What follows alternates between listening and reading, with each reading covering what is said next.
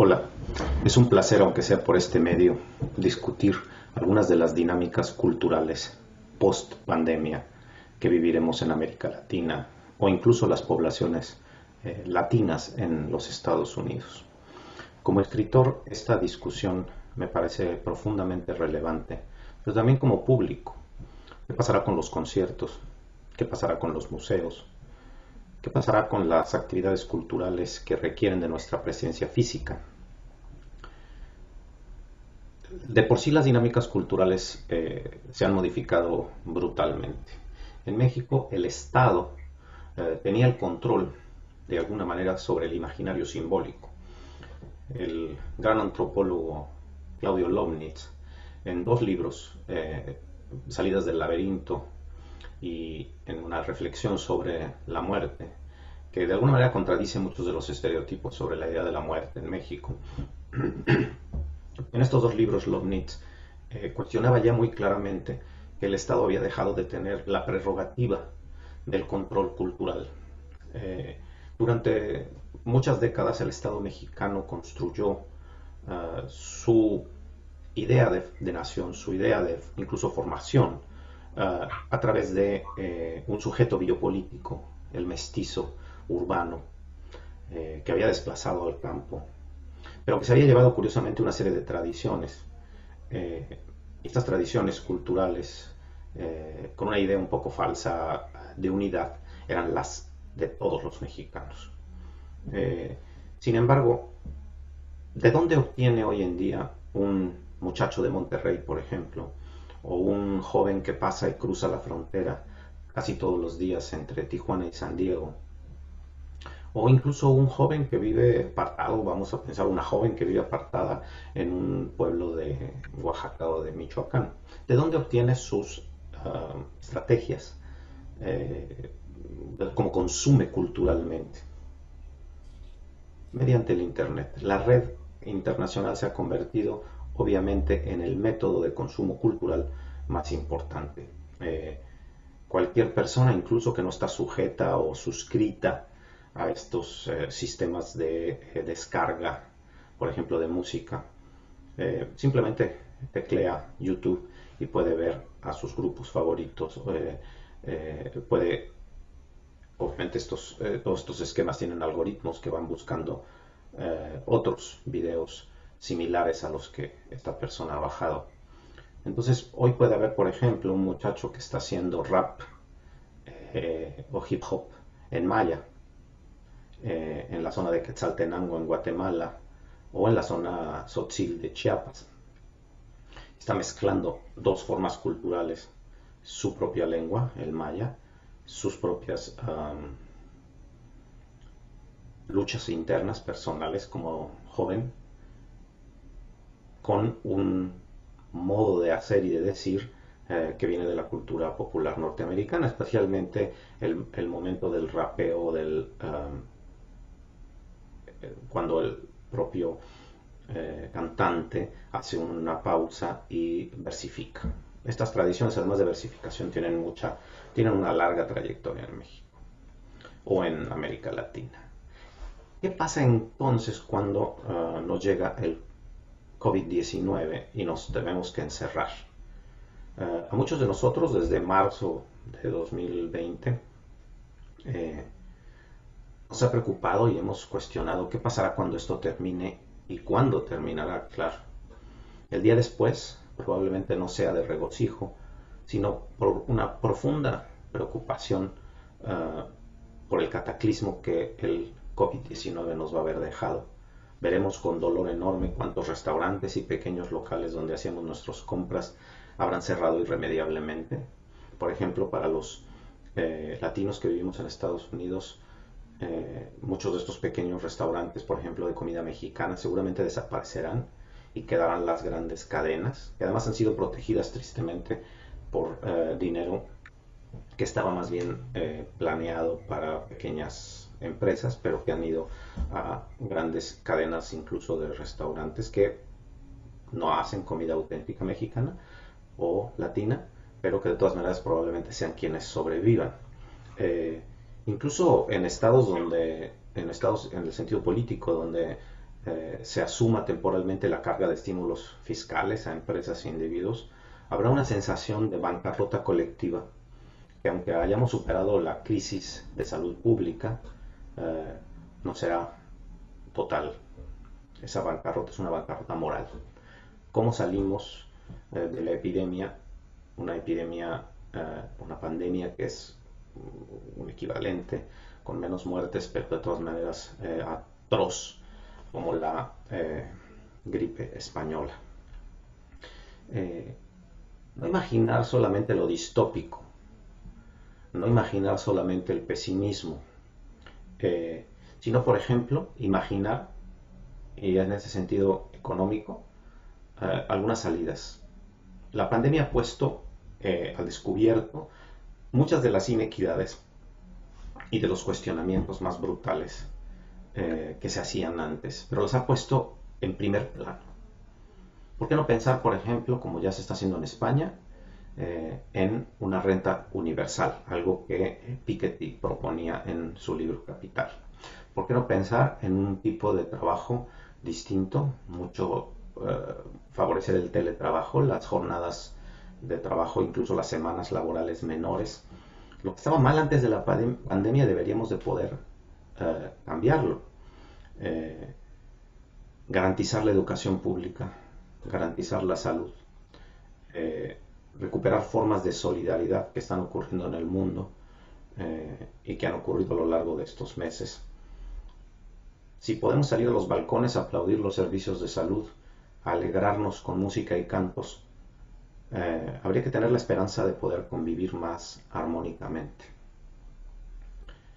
Tenemos que tener por otro lado también cuidado con algunos gobiernos, incluido el de Estados Unidos, eh, que busquen anular las garantías individuales o rebajar las libertades constitucionales eh, por razones de pandemia. Muchas veces nos acostumbramos a una nueva normalidad que ocurre durante una crisis de salud o una crisis financiera, eh, como se acostumbró, por ejemplo, los Estados Unidos e incluso todos nosotros en los aeropuertos del mundo a una nueva realidad después del de, eh, 11 de septiembre. Las formas de vigilancia estatales son siempre crueles y hay que limitarlas.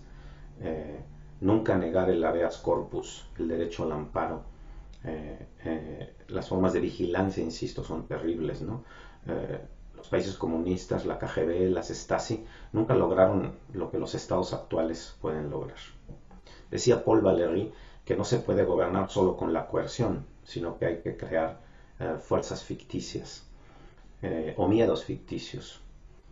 Obviamente la epidemia es seria, es global, pero no nos podemos acostumbrar a formas arbitrarias de control, resistir el absurdo, pedir razones. Eh, nos hemos retirado en cuarentena, no solo por las órdenes del gobierno, sino por voluntad propia. Muchas organizaciones como las universidades, muchos individuos reaccionamos antes que los gobiernos, como ocurre siempre. La autocracia nunca será la cura de una epidemia global de esta escala. Rusia e Israel, por ejemplo, quieren hacer cambios en la constitución producto de la pandemia, justificando mayores restricciones a las ya muy endebles democracias liberales eh, que en otro tiempo hubieran sido imposibles. Es labor de todos nosotros, no solo de los intelectuales, no permitirlo. Lo mismo debería ocurrir con las fronteras en este tiempo perentorio. No es posible que el Estado-Nación y sus terrores sean los que salgan ganando del COVID. Eh, no nos podemos reunir, pero podemos disentir en línea. Eh, no sería bueno desescalar las restricciones eh, en términos de las fronteras, abrir los mercados nuevamente, abrir, decíamos, poco antes de llegar al 2000 que este iba a ser el milenio de las migraciones. Y no es cierto, se ha convertido en el milenio eh, de las fronteras y de las restricciones. Wendy Liu ah, ha escrito un libro que es al tiempo manifiesto, memoria y alegato en contra del exceso o del ciberexceso.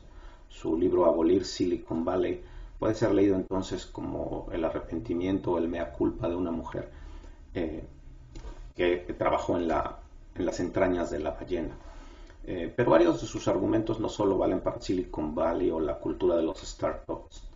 eh, esta cultura de especies de club de Toby, clubes casi exclusivamente masculinos. Eh, en el caso, por ejemplo, de la autora, ella incluso lo reconoce, muchas veces aceptó no recibir salario por tener acceso a este club de gente especial, de, de élite, ¿verdad? Este grupo que, por cierto, tiene como una de sus frases, miéntelo hasta que salga, fake it until you make it, en inglés, ¿no? Eh, ¿Cuál sería la ganancia de una situación como esta? Eh, hay que movernos fuera del paradigma y vuelvo entonces a el tema cultural. Museos en línea, acceso todas las actividades educativas de cada una de las nuevas exposiciones eh, de manera virtual conciertos virtuales, la posibilidad de acceder también de manera gratuita o con un costo muy bajo, eh, como ya se hace, por ejemplo, con, o se hacía con la Ópera Metropolitana de Nueva York, a los conciertos más importantes, por ejemplo, de la Sinfónica Nacional en Bellas Artes en México, o incluso algunos conciertos más populares. Eh, si antes algunos gobiernos, eh, sobre todo con cierto talante populista, se apreciaban de hacer grandes eventos en el Zócalo de la Ciudad de México, gratuitos, ¿por qué no hacer también de esos mismos eventos siempre, de manera eh, ya cotidiana, permanente, eh, eventos en línea? Que podamos ver simultáneamente, en tiempo real, todos aquellos que no hayamos ido al zócalo de la ciudad. Decíamos que una de las cosas que ha cambiado en el mundo es que todo lo podemos descargar. Todo lo podemos bajar en nuestro teléfono eh, celular, incluso cuando no tengamos internet, mediante los datos Casi hay 56 millones de teléfonos celulares en México. Prácticamente todo el mundo tiene un pequeño teléfono, a pesar de eh, grandes dificultades de acceso universal a la banda ancha o al, al, Internet que deberíamos de luchar también por lograr. Pero es un ejemplo. Museos gratuitos en línea, exposiciones y actividades educativas de esas exposiciones planeadas para hacerse en línea, eh, poder acceder y llegar a todos los conciertos de manera gratuita en línea de forma simultánea. Y algo que no requiere realmente mucha invención por parte de nosotros, y, lo digo con absoluta conciencia, es, hemos, yo he participado, por ejemplo, de marzo a la fecha en más actividades culturales vía Zoom que en los últimos cinco años prácticamente una o dos veces a la semana he estado eh, presentando libros, dando conferencias, participando en foros, sin necesidad de desplazarme. ¿No sería importante que a partir de este momento pensáramos también en este acceso? Por ejemplo, que los grandes festivales de literatura del país eh, no fueran solo para las eh, personas que pueden ir físicamente al lugar, que pueden desplazarse a Guadalajara, por ejemplo, a la Feria del Libro, a Tepic, donde acabamos de hacer un homenaje a Amado Nervo. ¿No podría ser interesante que estas mismas mesas redondas, o algunas, por ejemplo, la premiación del premio Phil, el antiguo premio Juan Rulfo, no podríamos verlo todos desde nuestras casas, vía Zoom, en Facebook Live? Eh, hemos sido muy creativos en estos meses. No hay que perder la creatividad y pensar que vamos a regresar a lo mismo. Al contrario, hay que utilizar esa misma creatividad que nos ha hecho eh, tremendamente capaces de encerrarnos mm, para nuestro bien en el futuro. Cuando hubo otras grandes epidemias en el mundo no había el acceso prácticamente universal eh, a lo digital.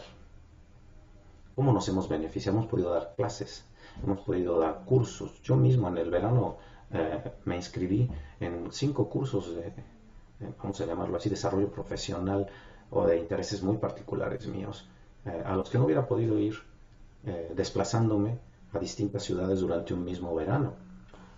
¿Quién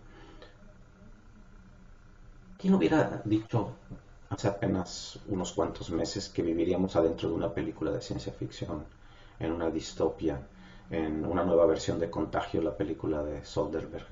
¿Quién podría haber previsto que el mundo se habría de detener y que nuestros momentos de solaz consistirían en ver imágenes de animales eh, poblando las calles vacías, peces de regreso a los canales límpidos de Venecia. Eh, ¿Quién iba a pensar también, sin embargo, en las cifras que iba a dejar la pandemia? Algunas eh, ya suenan atroces a pesar de que probablemente se eleven. en México, por ejemplo, se piensa que la pobreza puede elevarse al 48%. El desempleo en Estados Unidos podría llegar a más del 30%. Eh, hace meses ya eh, Anthony Fauci había dicho en Estados Unidos que en septiembre llegaríamos a los 100.000 eh, muertos. 100.000 muertos. Decía Blas de Otero que la muerte de un hombre, de un ser humano, elimina una premisa existencial vital. ¿Cuántos más esperaremos que mueran en cada uno de nuestros países para darnos cuenta que esto no puede volver a ocurrir, que no se puede negar la ciencia, que cosas tan simples como ponerse una máscara no solo me protegen a mí, sino protegen a los demás. Existe una responsabilidad de lo individual, pero también existe una responsabilidad colectiva que tenemos que asumir. Eh, ¿Quién iba a pensar, por ejemplo, que gente enferma en Nueva York iba a hacer cola para poder tener una cama de hospital cuando estábamos en el momento más rudo de la crisis. Una de las ciudades más ricas del mundo, pero también de las eh, más pobladas. La enfermedad nos fue rodeando en círculos concéntricos hasta estar a muy poca distancia o incluso dentro de nuestras casas, de nuestra familia y de nuestros amigos. Lo que esta pandemia nos ha revelado también con gran dolor es la precariedad en la que vivimos precariedad laboral, económica y social. El neoliberalismo desmanteló en unas décadas el llamado estado de bienestar, allí donde lo había, y privatizó por doquier lo público. Hoy esa indefensión, un estado menor, incapaz de resolver problemas de largo alcance, nos colocó y nos coloca en la cuerda floja. Millones seguirán perdiendo su empleo, cientos de miles de pequeños negocios no podrán sobrevivir a la llamada hibernación económica, como la llamó eufemísticamente el gobierno español. Muchos no encontrarán en la endeble salud pública de sus países ninguna respuesta y morirán esperando ser atendidos. En muchos lugares, de hecho, la élite ha saltado las líneas y se ha hecho pruebas, ha sido hospitalizada antes de quien no puede pagar eh, o los estudios o los tratamientos. Algunos filósofos contemporáneos, eh, Slavoj Žižek, eh, o incluso Judith Butler han intentado sin éxito atrapar demasiado la dimensión de esta catástrofe. Algunos incluso, como el gran Giorgio Agamben, han derrapado intentando aplicar sus teorías, el estado de excepción en este caso, a una situación que los sobrepasó. Tal vez aún no sea tiempo de abrevar en la reflexión o en la teoría, sino en las experiencias pasadas y en cómo resolverlas. Eh, algunos de nosotros podríamos, pudimos encontrar, de hecho, um, consuelo, o al menos sabiduría, en eh, obvias obras literarias que reflejaron momentos similares al nuestro. La peste de Camus, pero también el diario del año de la peste de Daniel Defoe o el de Camerón de Boccaccio, pero también incluso en García Márquez o en Saramago. Pudimos ir a los clásicos griegos, lo mismo en teatro que en los eh, tratados históricos. La humanidad ha vivido esto muchas veces, quizá en menor escala porque viajar era más lento y menos universal. No podremos volver a casa, no a la casa grande de la que salimos para refugiarnos en las pequeñas casas y nuestros departamentos. El planeta no será el mismo.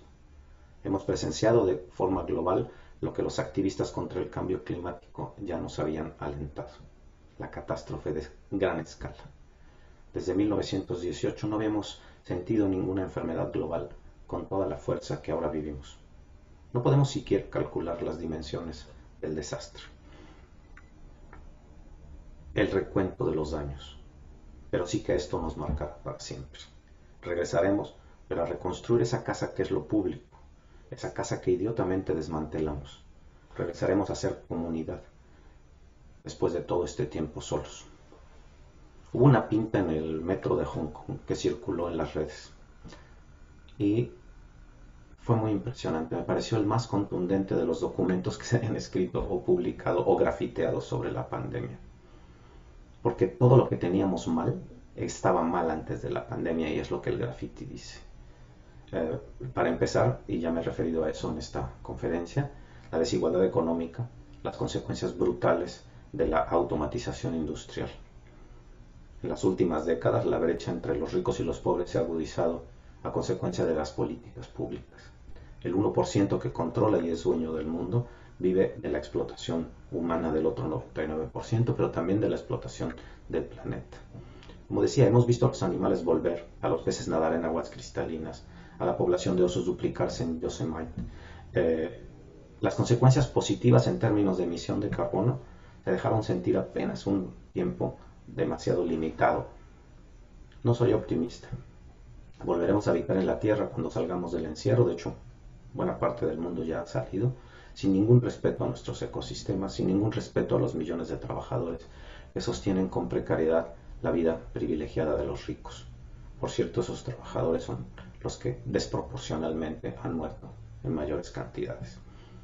Porque las poblaciones latinas, las poblaciones afrodescendientes en los Estados Unidos, eh, la eh, gente que tiene que salir a la calle en México, más del 40% de la economía informal a ganarse el pan o muere de hambre y no de pandemia. Se ha escrito mucho estos días acerca de los trabajadores esenciales, que han visibilizado esos millones de seres que permiten la vida de las democracias liberales del capitalismo salvaje, los que recogen la basura, los que sirven en los supermercados, el personal de primeros auxilios, quienes cosechan y permiten que los productos alimenticios lleguen a las casas. Por no hablar, obviamente, de las enfermeras y los doctores. Les podemos aplaudir y salir a los balcones, eh, pero no quiere decir que después de la reclusión veremos y valoraremos verdaderamente su papel, o que haya un aumento general de sueldos, una renta vital a la que ya nos hemos referido. Eh, seguirán siendo los indocumentados, los inmigrantes, los desechables. Foxconn, por ejemplo, el gigante de la manufactura china, es responsable hoy en día del 50% de todos los productos electrónicos que consumimos en el mundo. Y ya está reemplazando a sus empleados en el ensamble de Shenzhen eh, y en otras de sus plantas por un millón de robots. No me he equivocado, lo dije, un millón de robots. Philips ha declarado orgulloso eh, que podrá reemplazar la mano de obra asiática en la próxima década por sistemas de producción robótica. Y hay una planta suya en Frisla que sustituirá a su fábrica de Shuhai cerca de Macao. GE, por ejemplo, General Electric ha dedicado billones ya al llamado Internet de las Cosas con el objetivo de integrar máquinas y sistemas de manufactura con sensores en red. Planean incluso tener lo que llaman gemelos virtuales de todos sus productos. Hay en el mundo alrededor de 3 billones de personas que representan lo que llamaríamos la fuerza de trabajo. 1.5 billones, la mitad, son vulnerables. Y 1.3 billones ganan menos de 5 dólares al día. 2 billones de personas que tienen edad de laborar en el mundo no están en el mercado laboral. Y 500 millones de jóvenes permanecen hoy inactivos, ni trabajan ni estudian mientras que 168 millones de niños en el mundo trabajan en condiciones de brutal explotación. ¿Los vemos? ¿Sabemos de su existencia? ¿Los protegeremos cuando volvamos a la calle? Lo dudo. Como decía Marx, el propósito de la labor productiva no es el trabajador, sino la producción de plusvalía.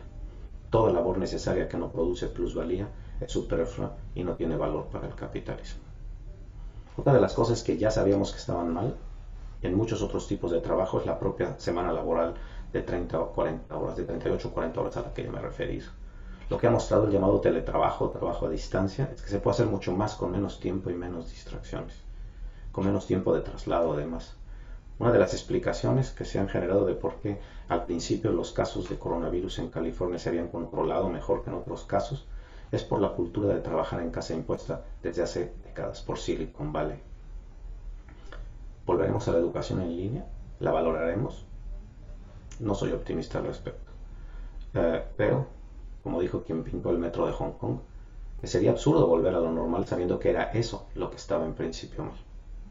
Si Borges afirmaba, hablando sobre el Ulises de Joyce, en un día del hombre caben todos los días del tiempo, ahora por el COVID-19 podemos decir que en ese día, en el que cabe el tiempo, es siempre el mismo día, cansino y repetitivo, todos los días son el mismo día desde que nos encerramos en casa.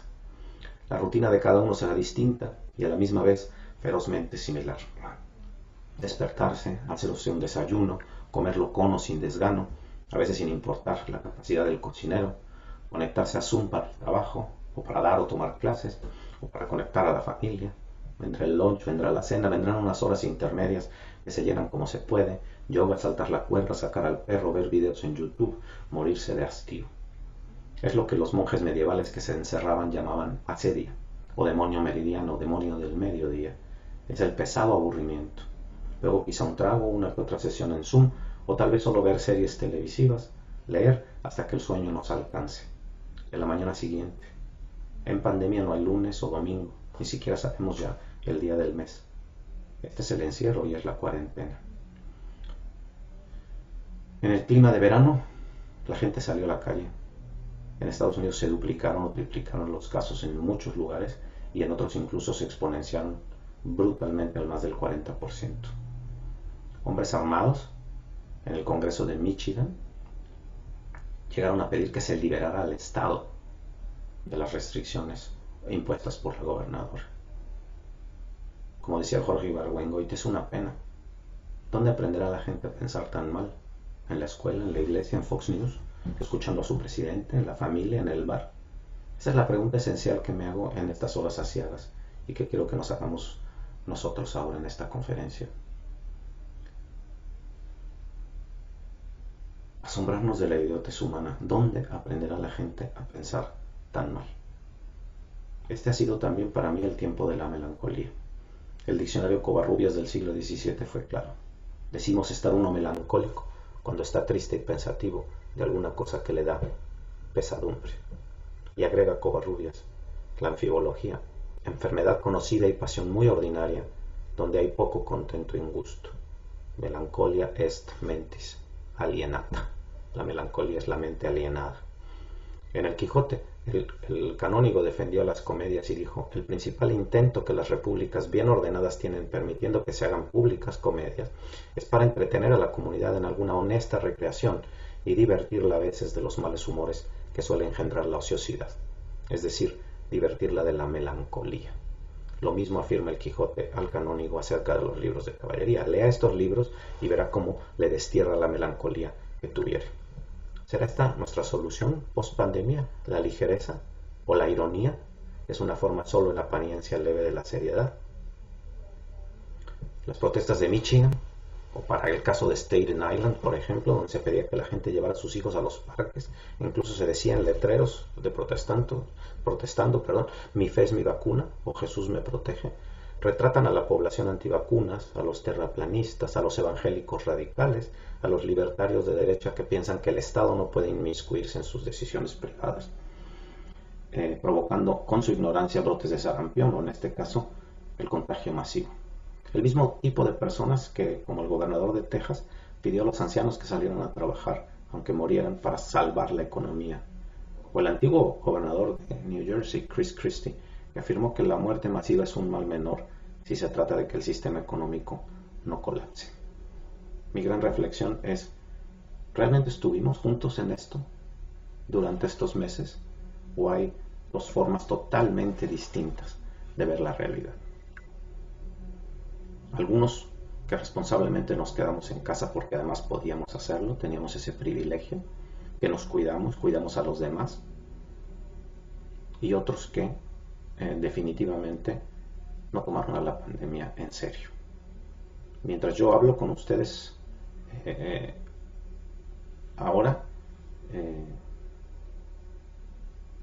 muchos incluso jefes de Estado, el propio presidente de los Estados Unidos y su esposa, la primera dama, fueron infectados por COVID. Ellos mismos los que negaron la importancia del COVID. Estamos a pocos días de las elecciones presidenciales de Estados Unidos y, por ejemplo, el voto latino es un voto que no se ha definido por Joe Biden el voto de Florida, pero también el voto de otros estados donde hay población latina eh, mayoritaria, que todavía no deciden si eh, prefieren o no cuatro años más de esto o un cambio radical, alguien que se haga cargo.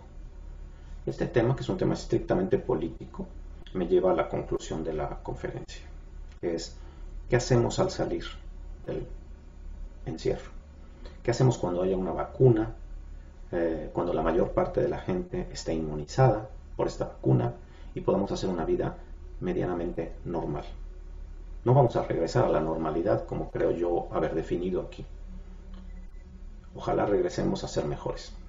Ojalá los estados, las universidades, eh, los organismos culturales, las embajadas, las secretarias de Relaciones Exteriores, hagan un esfuerzo enorme por utilizar las estrategias de la pandemia para el futuro del consumo cultural.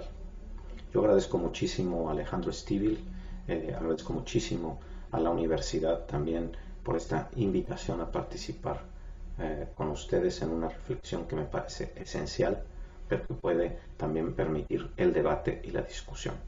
Estas son eh, algunas reflexiones iniciales, pero me gustaría mucho aprovechar este tiempo que nos resta para discutir, debatir y por supuesto contestar cualquiera de las preguntas que ustedes tengan. Muchísimas gracias. Muchísimas gracias. Muchísimas gracias, profesor Palau. Eh, no sabemos por qué eh, la magia de la tecnología convirtió el nombre del profesor Palau en Marc Valier, que es nuestro técnico, pero ahora sí lo tenemos aquí al profesor eh, Palau, que va a responder a las preguntas que ustedes les quieran hacer. Eh, yo le voy a agradecer muchísimo por estas reflexiones culturales y también políticas, evidentemente, por las que estamos pasando en este periodo pandémico. Entonces, yo los invito a hacer sus preguntas en la casilla eh, inferior de la pantalla, eh, QIR o PIR, y también podemos tomar las preguntas de Facebook, que nuestro técnico nos la va a pasar. Entre tanto, hay una reflexión que yo querría que el profesor Palau nos eh, eh, vaya un poquito más lejos. Hay alguien que nos dice que la, fragilidad económica del sector cultural contribuye también en gran medida a la fragilidad social.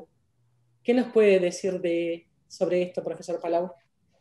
Totalmente. Eh, de hecho, podríamos también reflexionar lo que ha ocurrido en México con aquellos grupos de eh, teatro, por ejemplo, que han tenido que cerrar sus eh, exhibiciones públicas, eh, los propios escritores que han tenido, ah, que han visto retrasarse la salida de sus libros porque no tenía sentido sacarlos a la luz si no iba a haber, por ejemplo, todo esto que antes nos habíamos acostumbrado, la presentación del libro, la gira del autor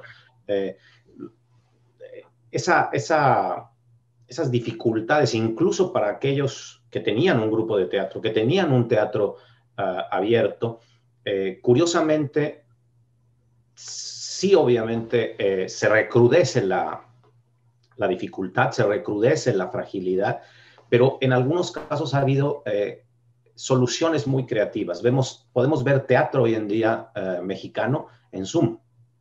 Eh, incluso microteatro, pequeñas obras de, esto, de este eh, nuevo género que había sido muy socorrido en los últimos años eh, en México. Ibas a una casa y, podías ver tres, cuatro pequeñas obras de, de microteatro. estos grupos las están exhibiendo en Zoom, con algún costo, obviamente, porque es la única manera de recuperar y de poderse mantener por esta fragilidad de la que hablábamos. Eh, lamentablemente, eh, los diputados en México están en este momento um, votando la desaparición de los fideicomisos públicos, muchos de ellos dedicados a la ciencia y a la cultura. Los uh, fideicomisos que permitían que el Estado mexicano, que a diferencia de otros estados de América Latina, siempre, aunque fuera por motivos políticos, ha tenido una excepcional uh, relación con la promoción cultural, muy parecida a la francesa, la, famosa excepción cultural ah, francesa. Eh, la vivíamos en México y esto parece que va a terminar eh, por un gobierno de izquierda que curiosamente fue votado y llegó precisamente por esa misma, ese mismo grupo ah, de personas, de intelectuales, de artistas que pensaban que era y hacer la solución a muchos de los problemas del país. hemos vivido, vivido, en ese sentido una profunda contradicción. pero incluso lugares en que, obviamente generan mucho más dinero, pienso por ejemplo aquí junto, ¿verdad? En, en Nueva York, en Broadway, el anuncio la semana pasada de, que Broadway no va a poder abrir hasta finales de mayo, principios de junio, eh, es tremendamente eh, descorazonador. Eh, yo tenía, por ejemplo, estábamos trabajando con un grupo de escritores en, la, última versión para una serie de televisión. La serie de televisión se ha aplazado y no sabemos incluso si se vaya a filmar eventualmente. Eh, ya muchas compañías de, eh, e incluso productoras filiales de distribuidor, distribuidoras tan grandes como Netflix están empezando a recuperarse y están empezando a producir en nuestros países, no solo en Estados Unidos, en nuestros países. En México empezamos a hacer ya otra vez producción televisiva, pero puede ser lentísimo, puede tardarse todavía muchos años en que esta industria, eh, que de por sí es precaria, se recupere. Eh, muchísimas gracias. Tenemos otra pregunta. esta pregunta viene de Argentina, de Jujuy. Estoy muy contenta porque, como sabes, soy argentina. Y Cristian nos pregunta, Cristian Americe nos pregunta, ¿qué estrategia cultural pandémica cree que llegaron para quedarse y con qué ventajas? Muchas gracias. Eh, de Jujuy era uno de mis maestros de la universidad, eh, el crítico y escritor Raúl Dorra, justamente. Entonces, ah. hasta, Jujuy va la respuesta. Entonces, bueno, eh, por ejemplo, justamente uno de, las, eh, de los proyectos más interesantes pre-pandemia, y ahorita voy a contestar la parte de la pandemia, en Argentina fueron, eh, fue el éxito de las editoriales independientes pequeñas, de las cartoneras. creo que e, este modelo de las cartoneras también lo podemos aplicar a otras respuestas que ha habido en la, en la pandemia. Yo estoy convencido que las universidades y los festivales culturales tienen un compromiso. Ya no van a poder regresar a ser lo mismo, a solo ser para la élite que puede viajar, que puede ir al festival. Eh, pensemos, no sé, el Hey Festival de Cartagena. No podemos ir a Cartagena de Indias, pero podríamos ver todas las conferencias de este festival eh, o de cualquier otro festival de larga y de gran importancia por Zoom eh, o por Facebook Live ya no va ya, ya, no, además no es un costo agregado el que, eh, el, el, el, el festival, incluso cuando ya podamos salir y viajar, no hay un costo agregado en disponer democráticamente de ese, eh, de ese festival y verlo simultáneamente. Yo insistí mucho cuando hablaba de conciertos en vivo gratuitos en la simultaneidad, en la, por lo menos la ilusión eh, que hemos tenido en la pandemia de que estamos allí, como ahora yo, por ejemplo, estoy en Montreal, no estoy en mi casa en Boston, ¿verdad? Estoy en Montreal realmente. Eh, entonces, eh, los espectadores nos vamos a beneficiar muchísimo eh, y creo que esto ya llegó para quedarse, llegó para quedarse y las instituciones culturales lo tienen que meter como obligatorio en sus propias prácticas. Veo más difícil otra propuesta que he estado haciendo y que, por ejemplo, la UNAM ya está haciendo, la Universidad Nacional Autónoma de México, pero que se quede, que es eh, una exposición costosísima. Por ejemplo, uh, un gran artista chino, Ai Weiwei, llega a México, al, al MOCA. Solamente la gente que puede ir al MOCA a México va a ver esa exposición originalmente. En, en, durante la pandemia, esas exposiciones se abrieron al público de manera virtual. Pudimos entrar al museo hacer recorridos incluso con eh, de, 380 grados con, con todas ah, las virtudes de, la nueva de, las nuevas tecnologías. Y en algunos casos, no en todas las exposiciones, pero en algunos casos ya hubo también actividades eh, educativas de ese propio museo que antes solamente podían hacerla, por ejemplo, alguien que visitaba, los niños que visitaban esa exposición o las escuelas que eran llevadas a la, al Museo de la UNAM. Hoy en día esas actividades culturales son las que yo estoy proponiendo que se queden. Que toda exposición eh, de un museo público que es pagado con los impuestos de los habitantes de un país, eh, sean de acceso universal y que estén planeadas para hacerse en línea.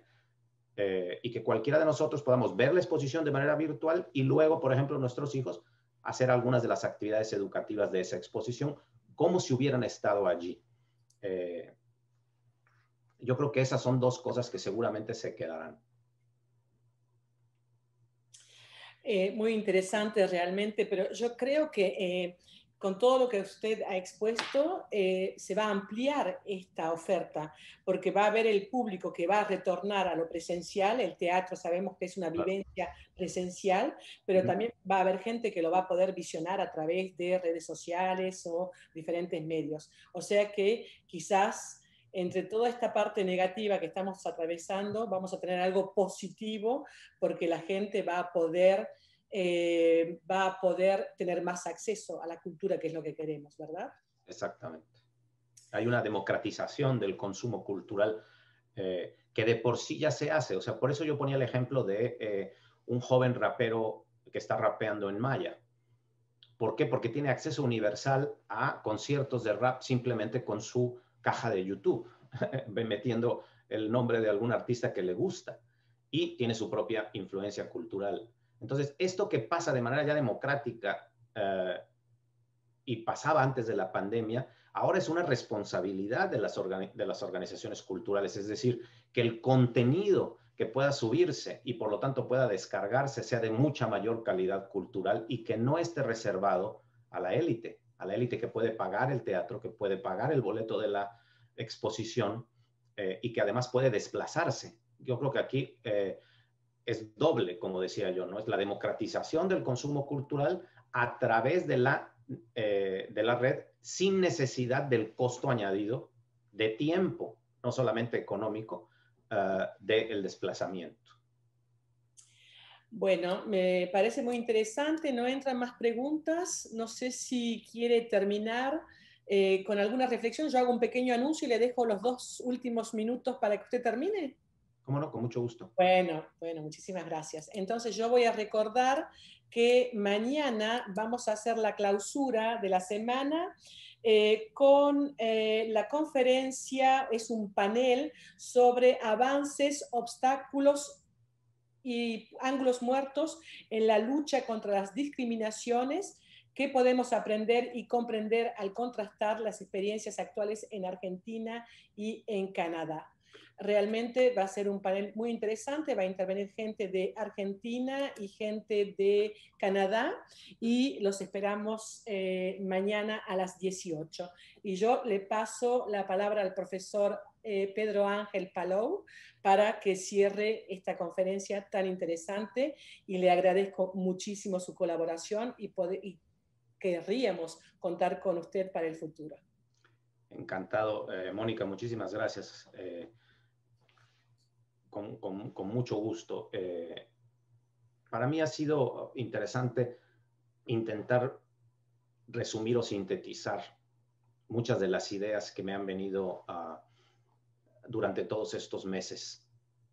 Tengo una preocupación política, como se ve al final de la conferencia, por la situación actual en Estados Unidos. Me preocupa mucho esta pregunta que me hago de manera irónica con Ibargüengoite, ¿dónde aprenderá la gente a pensar tan mal? Pero yo creo que también podemos aprender a pensar bien. Eh, que eventos como este de la semana eh, eh, organizado por la Universidad de Quebec en Montreal permiten discutir, dialogar, debatir ideas, pensar colectivamente, pensar juntos. Y ese ejercicio de pensamiento colectivo que la pandemia nos ha obligado a hacer a todos, creo que también es algo que debe llegar para quedarse, tener la voluntad de pensar eh, nuestro mundo de manera distinta, de manera más armónica, más justa, más democrática, eh, económicamente más, eh, menos desigual, más justa. así como en algún momento, con la tristísima muerte de George Floyd, el mundo, no solo Estados Unidos, el mundo entero se volcó a las calles a protestar, a decir no puede haber, eh, no puede seguir habiendo esta eh, eh, injusticia racial tan brutal. no debemos de olvidar que la injusticia racial pasa también siempre por la injusticia económica, que la, el cambio climático pasa por la injusticia racial y la injusticia económica, que todos los temas del mundo contemporáneo son temas interseccionales y que no podemos pretender resolver uno si no resolvemos los otros. No puede haber eh, eh, una mejor calidad de vida para las minorías eh, de este país, de Estados Unidos, si no hay justicia social, si no hay acceso universal a la salud, si no hay acceso universal a la educación y si no hay el trato absolutamente igual para todos. como latino que trabaja en una universidad en Estados Unidos, sé eh, de los privilegios que tengo.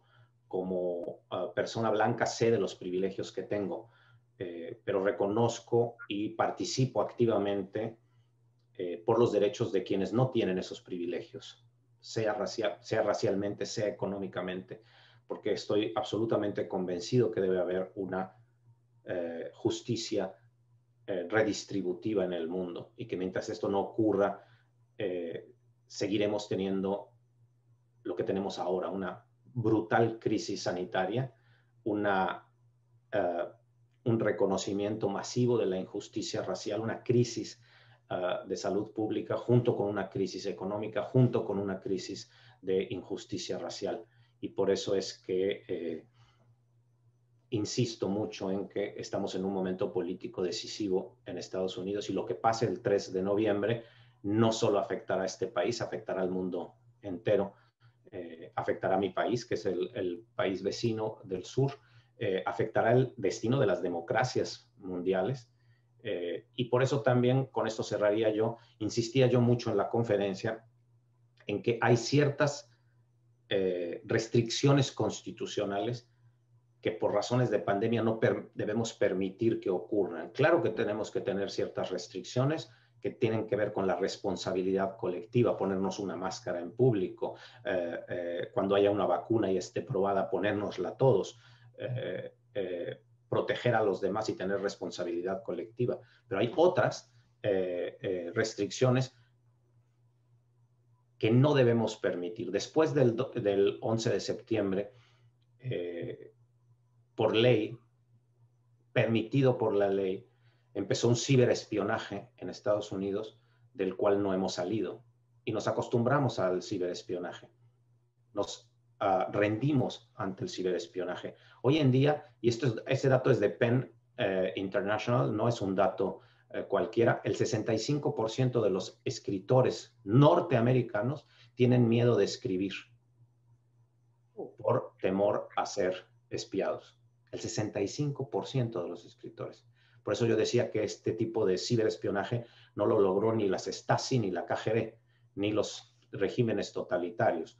Eh, tenemos pues mucho por andar, pero creo que eh, la creatividad que hemos mostrado, la solidaridad humana que hemos mostrado durante la pandemia son dos eh, avenidas por las que tendríamos que transitar en el futuro próximo. Muchísimas gracias, Mónica. Muchísimas gracias, profesor Palau. Muchísimas gracias al público y nos vemos mañana entonces para la clausura de la Semana Hispana. Adiós. Hasta luego.